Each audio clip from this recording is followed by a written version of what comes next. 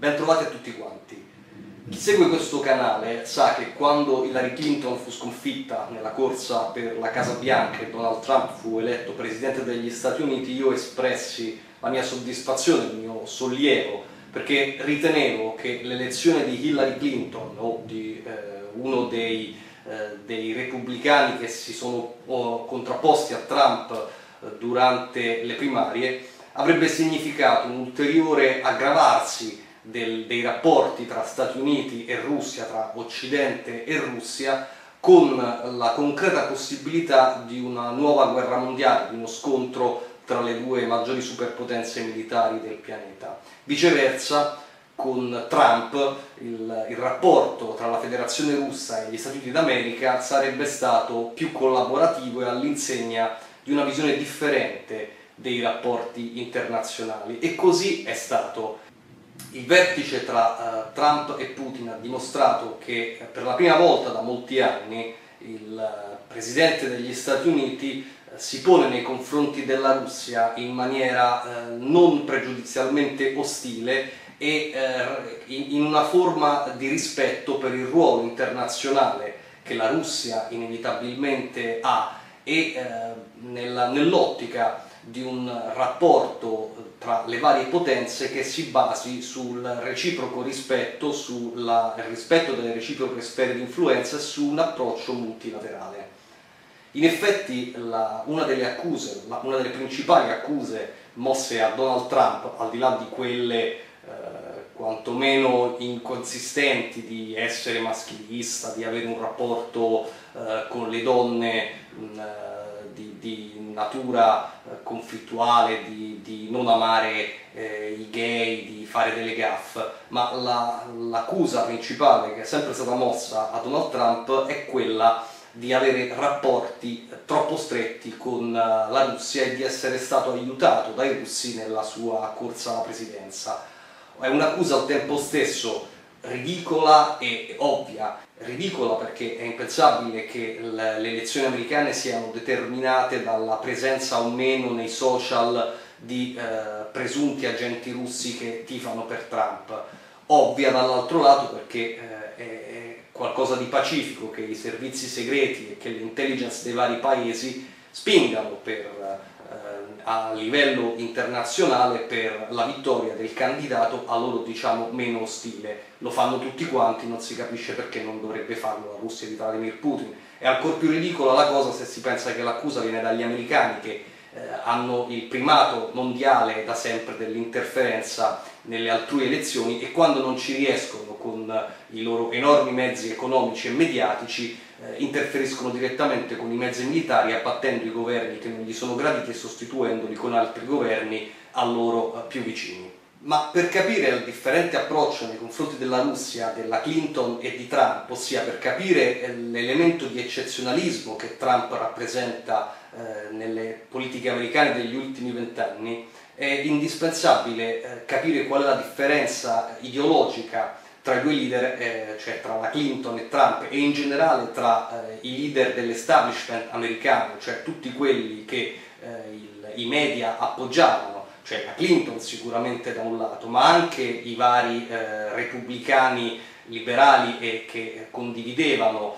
la, la, stessa visione sostanzialmente dei rapporti internazionali e della politica economica della Clinton e il, il magnate Donald Trump. La Clinton, esattamente come Obama e come eh, i tecnocrati dell'Unione Europea, ha una visione globalista del mondo e dell'economia. In America, esattamente come eh, in Europa, una lobby economica è, di fatto, è stata di fatto a capo del, della politica e ha imposto quelli che erano i suoi progetti e le sue ambizioni prima agli Stati Uniti e poi di conseguenza al resto del mondo.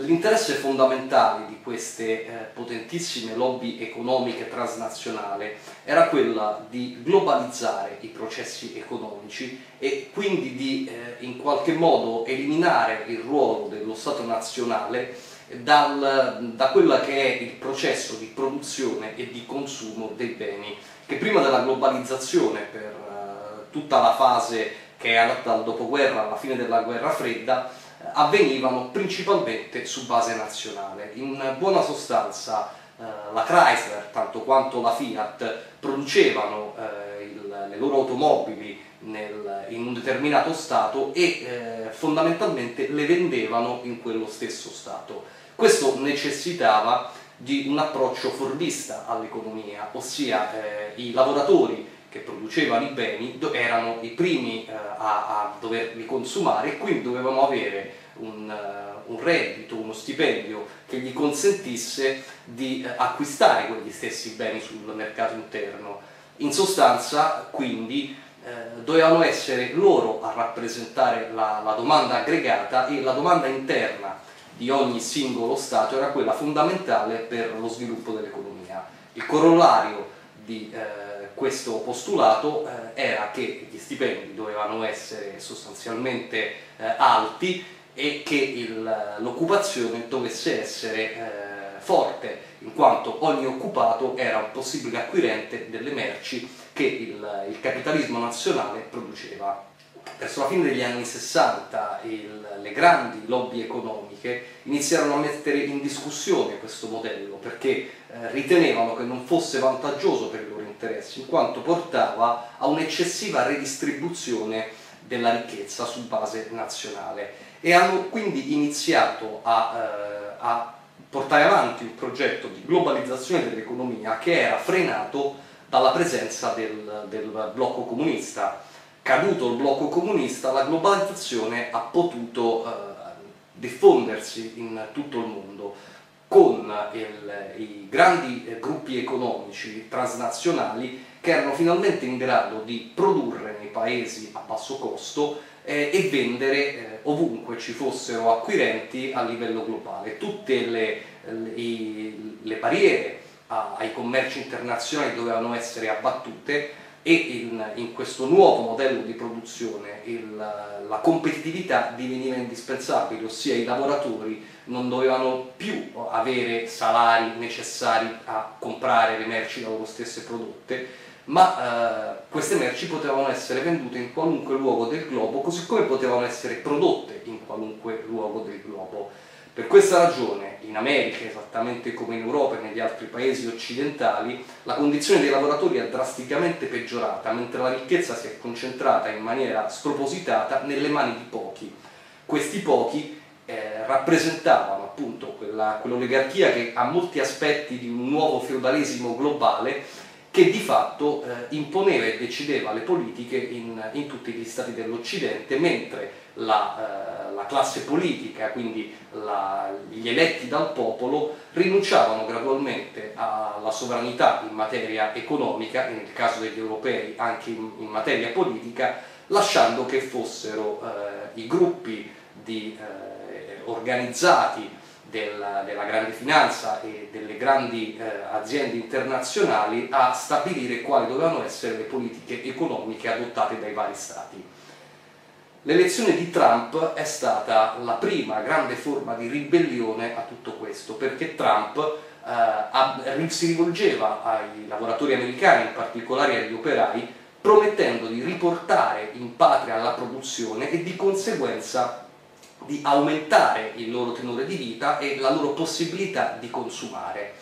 Questa è la ragione per cui Trump ha vinto le elezioni e questa è la ragione per cui, a mio avviso, Trump sarà riconfermato presidente nel, nelle, prossime, nelle prossime elezioni che si svolgeranno negli Stati Uniti la Clinton, così come eh, i repubblicani che si contrapponevano e si contrappongono a Trump, erano espressione di queste lobby eh, economiche internazionali, esattamente come le tecnocrazie europee. Di conseguenza l'ostilità nei confronti del candidato Donald Trump è stata fortissima ed è stata assolutamente bipartisan, tutti i media, tutti i gruppi, eh, tutti i gruppi mediatici, tutti i grandi giornali, anche quelli non grandissimi, eh, tutta l'industria dell'entertainment, Hollywood, l'industria musicale, eccetera, consideravano Trump un nemico mortale, perché era di fatto un nemico di quelle eh, oligarchie economiche che possedevano questi mezzi di comunicazione.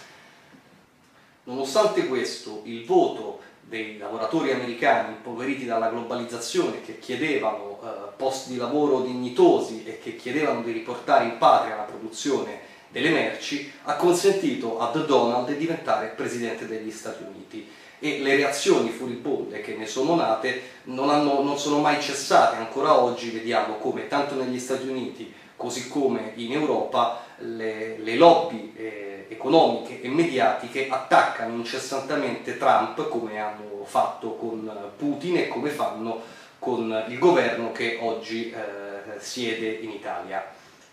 Ma un altro eh, elemento importante del, della politica che eh, le lobby internazionaliste portavano avanti era di natura eh, internazionale, cioè in questa visione del mondo in cui eh, tutto il mondo è una grande fabbrica in cui si può produrre ovunque e vendere ovunque, necessitavano di eliminare tutti quegli stati, tutte quelle eh, potenze, medie potenze o anche stati eh, non particolarmente importanti ma magari strategici per ragioni geografiche o per la presenza di materie prime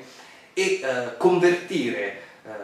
con la persuasione o con la violenza coloro che invece rivendicavano una indipendenza e eh, ritenevano che non, i, i, loro paesi non dovessero uniformarsi a questo nuovo modello economico globalista e liberista. Questa è la ragione per cui fondamentalmente dalla fine della guerra fredda i conflitti eh, si sono moltiplicati in tutto il mondo e in ognuno di questi conflitti gli Stati Uniti d'America avevano un, un, ruolo di promotore. Gli Stati Uniti hanno iniziato a fare guerre ovunque per imporre questo modello in tutto il mondo, perché il modello di economia globalizzata doveva essere accettato globalmente.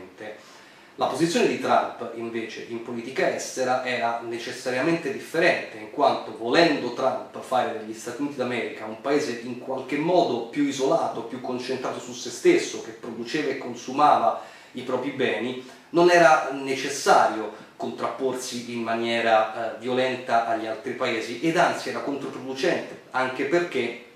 l'impero globale di cui gli Stati Uniti erano di fatto il braccio armato, ma che aveva eh, come testa non Washington, ma il, il, sistema finanziario globale, il sistema industriale globale, drenava un'enorme quantità di risorse eh, che invece potevano essere utilizzate per eh, le infrastrutture, per la crescita e per lo sviluppo.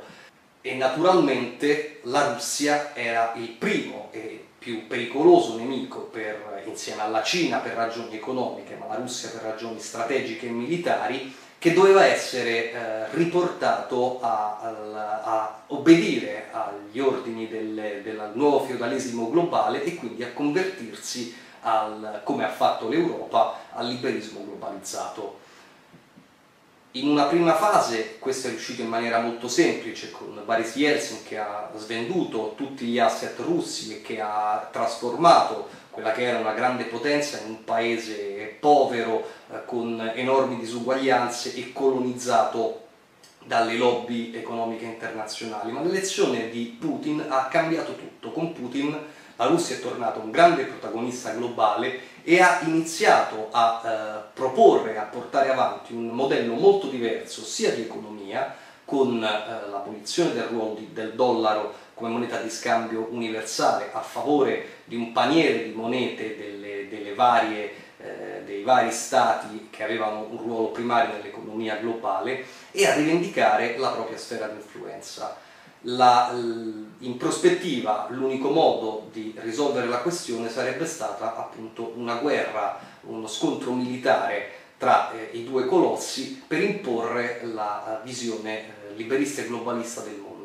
Le elezioni di Trump hanno mandato in soffitta questa possibilità e inaugurato invece una fase di dialogo e di collaborazione eh, con la Russia che oggi mh, ha in, in, questo vertice tra eh, i due presidenti un momento in qualche modo storico.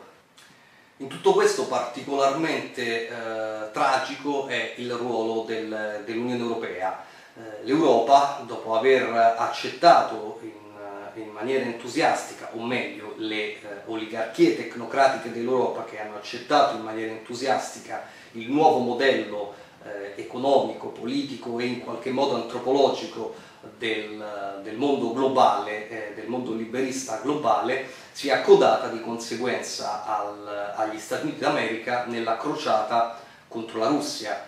Ma eh, l'elezione di Trump e il cambiamento radicale dei rapporti tra Russia e Stati Uniti, in particolare in seguito alla, a quella che di fatto è la sconfitta degli Stati Uniti d'America nello scenario siriano, ha lasciato l'Europa in buona sostanza con il cerino in mano. Le dichiarazioni, le recenti dichiarazioni di Trump eh, sul fatto che l'Unione Europea, attenzione l'Unione Europea, non gli europei e meno ancora gli Stati europei, sia una, loro, una, una nemica degli Stati Uniti, eh, la, le raccomandazioni a Theresa May per una Brexit hard eh, nei confronti di Bruxelles, nonché l'appoggio per i vari governi sovranisti, in primo luogo quello italiano, eh, ha spiazzato completamente eh, Bruxelles che si trova oggi nella difficile condizione di essere eh, il più realista del re, cioè di avere eh, una serie di regole eh, che sono il prodotto di quella che era eh, vent'anni fa la proiezione americana, cioè la visione liberista e globalista che gli Stati Uniti d'America hanno imposto a tutto il mondo e che però oggi negli Stati Uniti di fatto non esiste più. I dazi che eh, Trump ha eh, deciso di imporre all'Europa e di conseguenza alla Germania ne sono l'esempio più lampante. L'Italia da tutto questo ha molto da guadagnare, innanzitutto perché ormai abbiamo capito tutti come all'interno dell'Unione Europea, eh, di, di questa struttura dell'Unione Europea e non ce ne sono altre eh, in vista, il nostro paese sia condannato a un progressivo declino politico ed economico. Eh, l'indebolimento dell'Unione Europea che l'approccio di Trump sta portando avanti eh, è funzionale agli interessi italiani. Non a caso il governo giallo-verde, eh, per bocca del ministro degli interni Salvini, ha dichiarato che se eh, l'Unione Europea porterà nuovamente avanti la proposta di, di rinnovare le sanzioni alla Russia, l'Italia eh, potrebbe porre il veto. L'Italia era il secondo partner commerciale della Russia dopo la Germania ed è stata enormemente danneggiata dalle sanzioni, molto più della Germania che grazie al suo peso eh, economico e geopolitico è riuscita in, in varie misure ad aggirarle. Per noi non è stato così, abbiamo perso un mercato essenziale e abbiamo perso un, un alleato strategico, cioè Mosca.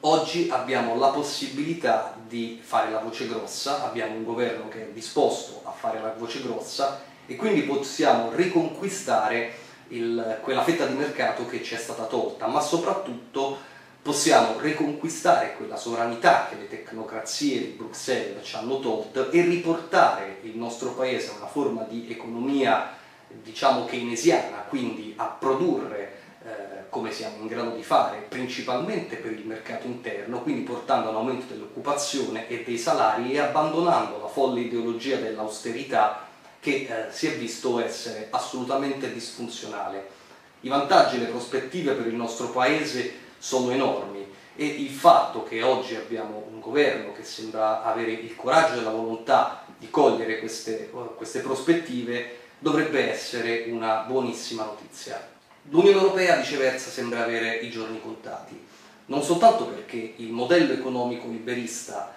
che eh, ne è la struttura fondamentale, che è la base di tutti i trattati che costituiscono l'Unione Europea, ormai si è dimostrato fallimentare e viene abbandonato eh, da, da, tutti quanti, a cominciare da, dagli Stati Uniti d'America che lo hanno inventato.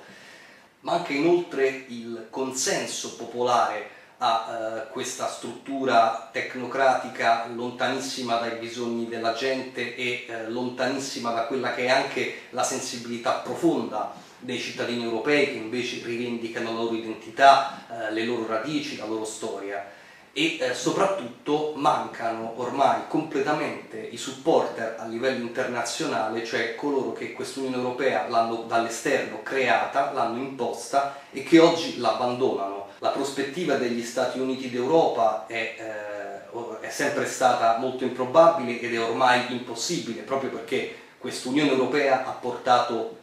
a un, una tensione fortissima tra i vari popoli europei. La, la questione, ad esempio, della vittoria nei mondiali della Francia lo ha dimostrato, la Francia che eh, fino a poco tempo fa era considerata noi il paese più vicino, erano i nostri cugini, oggi è il paese più odiato, ma eh, i greci odiano i tedeschi, eh, i, i, paesi del gruppo di Visegrad odiano i paesi occidentali, insomma questo, eh, questo modello di Europa ha portato a uh, un odio profondo tra eh, i, i, popoli europei e le istituzioni che non li rappresentano e tra i vari popoli europei contrapposti eh, nei propri interessi l'uno contro l'altro